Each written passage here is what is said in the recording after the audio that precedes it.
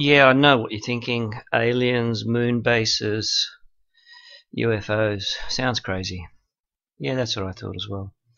Let's do a little game. Let's go up there where you see the nice picture of whatever that is. Jupiter, go down, press moon, enter Google Moon. We'll now see it roll in. Google Moon, unfortunately, um, you couldn't see much before. It used to zoom in about two kilometers and then you just see craters. A couple of areas have opened up where the uh, resolution has increased. I will now start to take you there. In this uh, video, I'll uh, briefly try to um, go to all the areas, and you've got 21 episodes of full coverage. So again, this started. I saw 12 UFO orbs over Sydney. 8th of June 2010. Then I saw um, five white and two red on the 24th of March 2012. I started to do research. Um, okay, here we go into the uh, Tychos craters. Now these craters um, are very barren and all these new images uh, came from the Kaguya satellite which was around 2010. So it took fairly close high resolution images. Um, certain areas have been then opened up with these high resolution images. Um, normally you can't see very close down all the other NASA photographs, which I'm not sure why not. Uh, so we'll actually zoom into now this area I'm trying to show you. It's uh, a Tycho craters, T-Y-C. So we'll just uh, zoom down. You'll see the whole area is opening up except the other area around it is obviously uh, less resolution. So you think, okay, there's just craters, there's nothing much there, it's a barren. Anyone who suggests all these aliens and all this crap, you know, they, they're probably on some sort of drugs or something.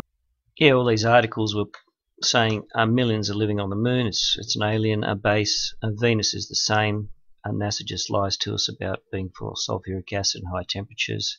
Mars is the same thing. Let's quickly zoom in. We've got some ancient alien cities here, which um, are on the landscape. And NASA has tried to change the resolution on this, so it's not that clear. Uh, you can actually see the uh, buildings and walls coming up. Um, um, the, the, construction is mostly towers, and uh, quite a few have been airbrushed out using um, low resolution but here we come now to the real things. So basically you'll see the construction everywhere on the moon is the same ar around the craters or canyons which in this case um, uh, you'll see all the towers there on the edges one there all around there. That's actually been censored with uh, reduced resolution software but here we have two happening at 120 meters shadow so if you just zoom into this whole area here and watch my other videos, you'll see hundreds of these things appearing. So it's 120 meters.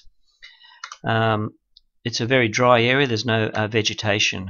I'll then take you to one more crater where it's very green, it's full of vegetation. The atmosphere is rumored to be about two miles high. The other crater system is on the far side. It's an ancient lava flow known as Mare, M-A-R-E, Moscoviense. So I'll actually zoom in now. Um, the area is about 300 square kilometres. It hasn't been censored at all. So I've labelled about 1,200 structures. The population looks like it's uh, millions. There's no man-made bases or anything like that happening. There's no runways or um, anything like that.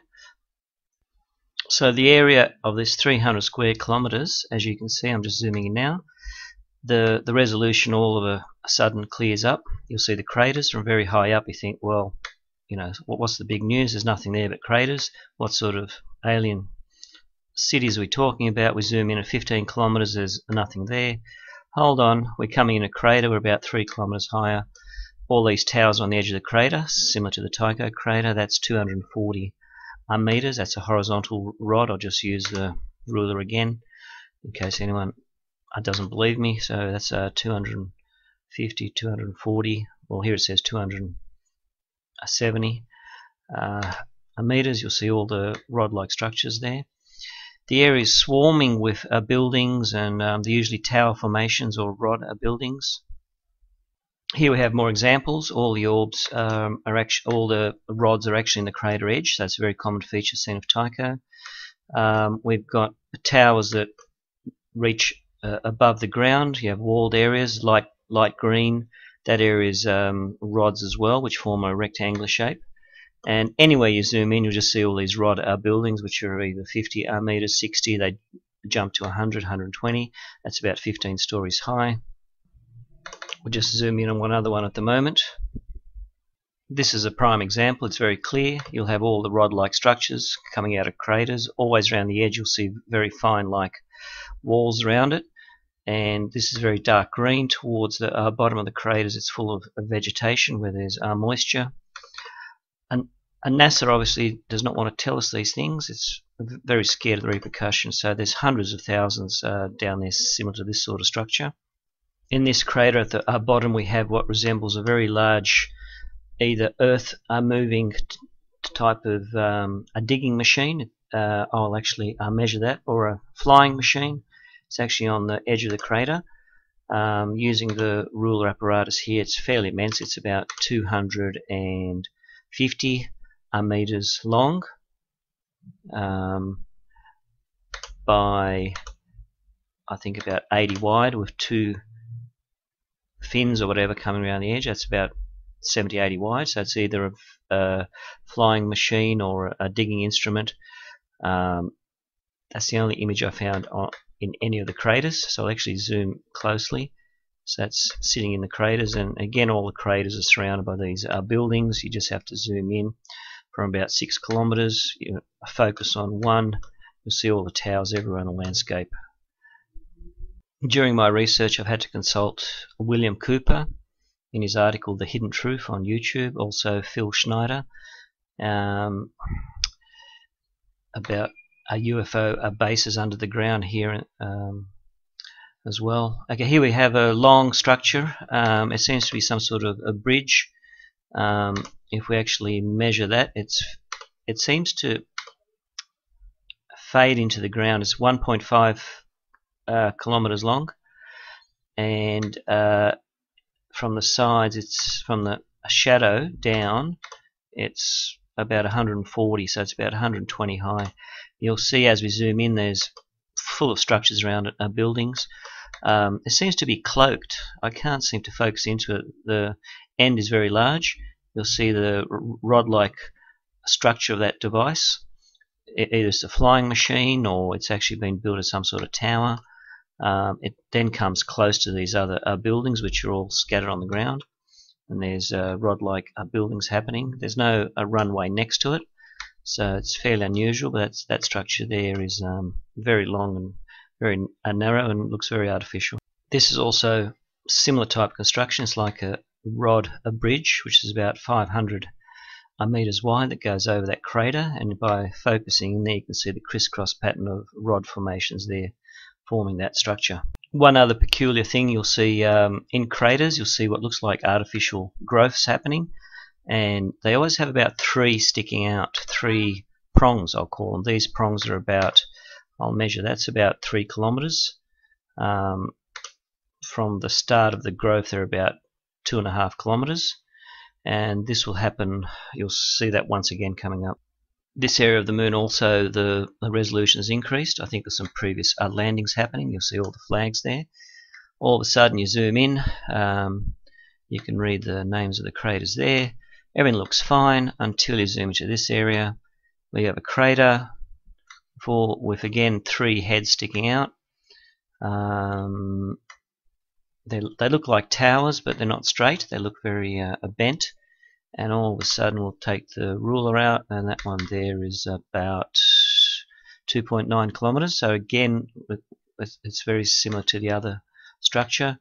And it's a crater with all with three towers sticking out.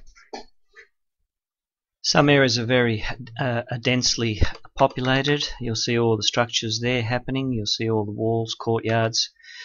A greenery is coming into the area as well uh, that's a courtyard system there, excavation towers, rod towers.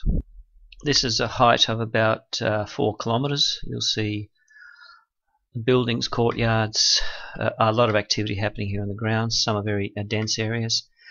Um, as we go higher up, we lose we lose that type of resolution. So obviously from about 20 kilometers up or 25, it just looks like a normal moon surface. Um, as we go down, you'll see the area is heavily populated. There's no airports or landing fields. I don't see anything human there at all. Um, the rumour is the same as happening on Venus. They tell us it's full of sulfuric acid, except when uh, Russian probe landed and the atmosphere was meant to be 900 degrees, the parachutes opened without a problem.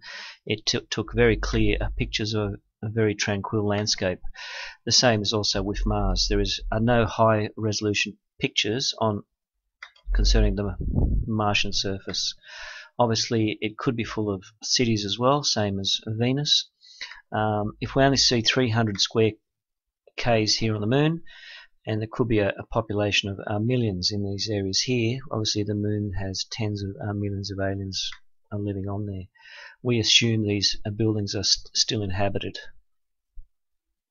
Just by zooming in from about six kilometers up, you can tell the where the rod uh, buildings are. Normally they're very luminous. I'll pick these examples. Uh, seems to be rod-like structures. It's a crater. Excavation, usually squarish around the structures, and internal rods as well. Uh, usually a bright white line around the walls. And um, this does not res resemble anything that I've seen on Earth or any human type of um, uh, construction. And they're all uh, different. There's not one similar thing. There's no a battle axe bloxes or a Masterton homes littering the area. They're all individual, and I haven't seen any type of pattern that repeats itself except the type of structures that are there. There's either a very light green landscape or some areas low down very dark green. And the pilots of uh, Apollo 8 reported seeing a, a mist when they went on the far side of the moon. I've seen quite a few pictures of these um, alien moon things, but obviously because I can't, because you can't zoom in yourself and see it using Google Moon, obviously you think they're not real. So I'll just quickly show the structures. We've got rod-like structures. They're usually luminous. That height there is, um, they're not, they look small, but they're not. That's about 80 uh, meters, which is about 30 stories or more. You'll see areas of excavation and courtyards around it zigzag patterns indicating uh, walkways or whatever. Um, that's a nice one there. And basically you'll see from high up areas have been excavated around it. You'll see darker valleys again with vegetation. As we go down and deeper into the craters it becomes more dark green so there's evidence of vegetation and um, they're always a, a different type of formation You'll see a lot of walls in some areas. Um, they're all very peculiar in shape and they're not repeating. Some areas are very densely packed, some are very sparse. Again, here we zoom one area here as well. You see the rods always coming out of these type of craters. You'll see the rod uh, buildings as well, shadows, a little bit of rods coming off there. I don't like to be one of these UFO researchers because I end up having accidents or strangulations or a shot. So again, I wish I didn't see these UFOs flying over Sydney. Um, I've got about 20 videos or 21 on YouTube. You can see all step-by-step -step, uh, description of the architecture there. That's a typical indication of wall-like structures. Some are square buildings. Um, here we go again. They're always on the edge of the crater, these rods. The One a building there as well. This has been very short, so I hope it's actually just quickly shown you what's happening down here in the landscape. Uh, I've got a whole 21 episode thing there, step by step, zooming in on the various structures. So just by chance, I'm zooming in here. It hasn't hasn't been uh, labelled, and again, you can see the peculiar structures happening. Uh, the towers come out of the craters. You'll always see a zigzag bright wall around it. Some of these towers appear luminous, as though they're actually uh, emitting energy and um, the older structures at Tycho could be hundreds of thousands or uh, millions of years old. There's uh, no wind erosion or hurricanes or rains happening, so we don't know the age of these uh, buildings. They could, in theory, last hundreds of thousands of years and still look new. And um,